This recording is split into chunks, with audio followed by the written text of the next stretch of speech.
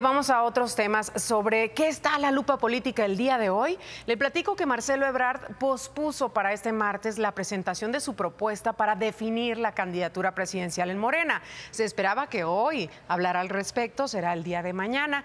El canciller ha manifestado su inconformidad sobre que el aspirante morenista sea definido por una encuesta y como le digo, mañana le vamos a tener todos los detalles aquí.